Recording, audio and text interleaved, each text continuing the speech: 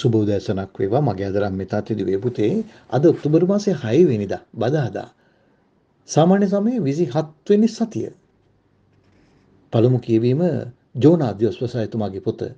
හතරවෙනි පරිච්ඡේදයේ 1 සිට 11 දක්වා. ඒ වගේම අද සුදු සුවිශේෂය අපට ගෙනහැර දක්වනවා සුදු ලූක්තුමා.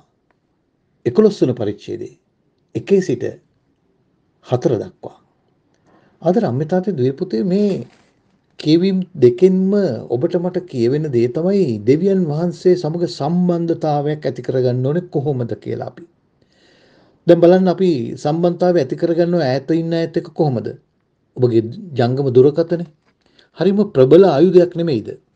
ඔබට මට පැහැදිලිවම ඒ කතා කරන්නට සම්බන්ධතාවය පවත්ව ගන්නට අපිට හරි ඉවහල් වෙන උපකරණයක් තමයි ජංගම දුරකථනය කියන්නේ.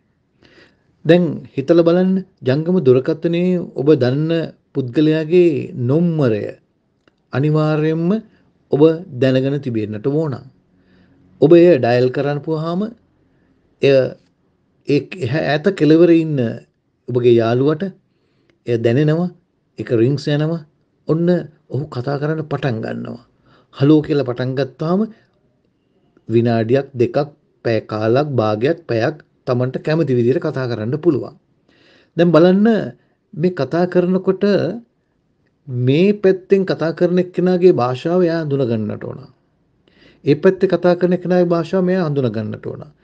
අඳුනගත්තොත් විතරයි දෙබසක් විදිහට කතා කරන්න පුළුවන් වෙන්නේ. නැත්තම් ඔබට මට පුළුවන්ද ඔබ දන්නේ සිංහල නම් ජර්මන් ජාතිකයෙක් එක්ක කතා කරන්න පුළුවන්ද ජර්මන් භාෂාව ඔබ දන්නේ නැත්තම්. හැබැයි ශබ්ද ටිකක් ඇහි. මට හිතෙනවා යාඥාවත් මෙන්න මේ වගේ කියලා.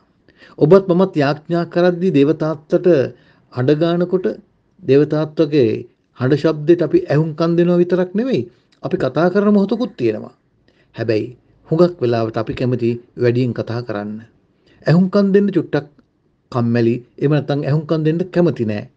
ඒක ටිකක් ඇහුම්කන් දීමෙන් Tamanට අවාසි වෙනවයි කියන එක දන්නවා. මොකද දේව කැමැත්ත තරම් ලේසි දෙයක් නෙවෙයි. දේව කැමැත්ත කියන්නේ හැමතිස්සෙම අපගේ කැමැත්තට හරස් වෙන්න පුළුවන් කැමැත්තක්.